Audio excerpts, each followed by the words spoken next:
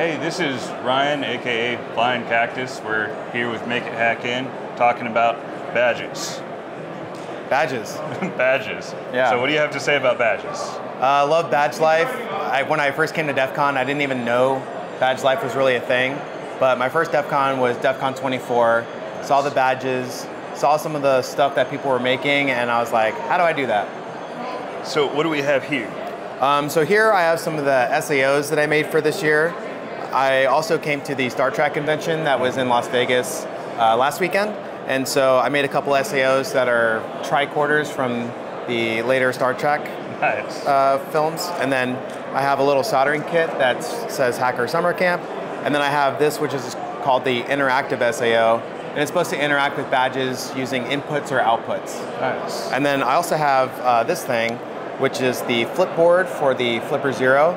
It turns your flipper into a wearable electronic badge, and then it's also a macro pad for the flipper, so you can hook, hook it up to a computer, send different messages, keystrokes, or you can also send sub-gigahertz or infrared, uh, uh, sorry, infrared signals.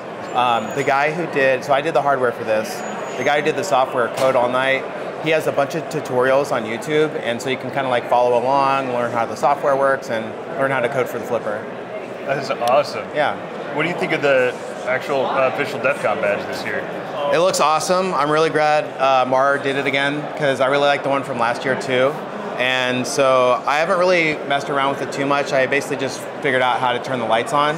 Um, but looking forward to figuring out. I really like the injection molding and kind of like the see-through case. Uh, so I think it's a great badge design. Um, definitely, definitely very uh, proud of that. It is awesome. Yeah. And uh, there's some uh, some question last night about what SAO actually stands for. Yeah, if I'm allowed to curse on camera, Sure. uh, add-on is is what it stands for. But you know, if you want to be clean around people, you can say simple add-on or sophisticated add-on, something like that. I like that. Yeah. Cool. Well, thank you so much. You're welcome. Appreciate your time. Yeah, have a good one. Thanks.